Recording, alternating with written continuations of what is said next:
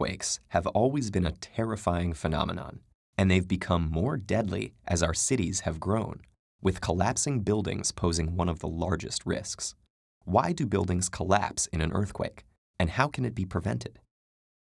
If you've watched a lot of disaster films, you might have the idea that building collapse is caused directly by the ground beneath them shaking violently or even splitting apart.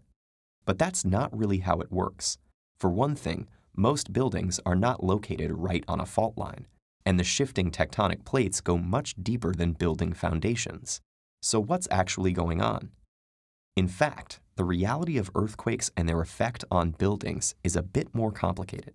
To make sense of it, architects and engineers use models, like a two-dimensional array of lines representing columns and beams, or a single-line lollipop with circles representing the building's mass. Even when simplified to this degree, these models can be quite useful, as predicting a building's response to an earthquake is primarily a matter of physics. Most collapses that occur during earthquakes aren't actually caused by the earthquake itself. Instead, when the ground moves beneath a building, it displaces the foundation and lower levels, sending shock waves through the rest of the structure and causing it to vibrate back and forth. The strength of this oscillation depends on two main factors the building's mass, which is concentrated at the bottom, and its stiffness, which is the force required to cause a certain amount of displacement. Along with the building's material type and the shape of its columns, stiffness is largely a matter of height. Shorter buildings tend to be stiffer and shift less, while taller buildings are more flexible. You might think that the solution is to build shorter buildings so that they shift as little as possible. But the 1985 Mexico City earthquake is a good example of why that's not the case. During the quake, many buildings between 6 and 15 stories tall collapsed. What's strange is that while shorter buildings nearby did keep standing, buildings taller than 15 stories were also less damaged. And the mid-sized buildings that collapsed were observed shaking far more violently than the earthquake itself. How is that possible? The answer has to do with something known as natural frequency. In an oscillating system, the frequency is how many back and forth movement cycles occur within a second. This is the inverse of the period, which is how many seconds it takes to complete one cycle. And a building's natural frequency, determined by its mass and stiffness, is the frequency that its vibrations will tend to cluster around.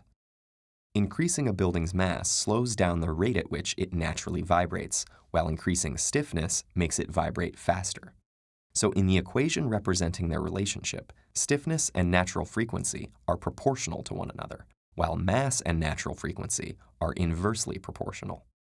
What happened in Mexico City was an effect called resonance, where the frequency of the earthquake's seismic waves happened to match the natural frequency of the mid-sized buildings.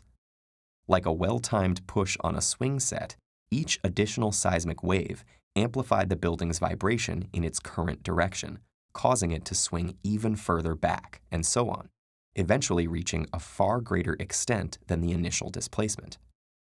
Today, engineers work with geologists and seismologists to predict the frequency of earthquake motions at building sites in order to prevent resonance-induced collapses, taking into account factors such as soil type and fault type, as well as data from previous quakes. Low frequencies of motion will cause more damage to taller and more flexible buildings, while high frequencies of motion pose more threat to structures that are shorter and stiffer. Engineers have also devised ways to absorb shocks and limit deformation using innovative systems. Base isolation uses flexible layers to isolate the foundation's displacement from the rest of the building, while tuned mass damper systems cancel out resonance by oscillating out of phase with the natural frequency to reduce vibrations. In the end, it's not the sturdiest buildings that will remain standing, but the smartest ones.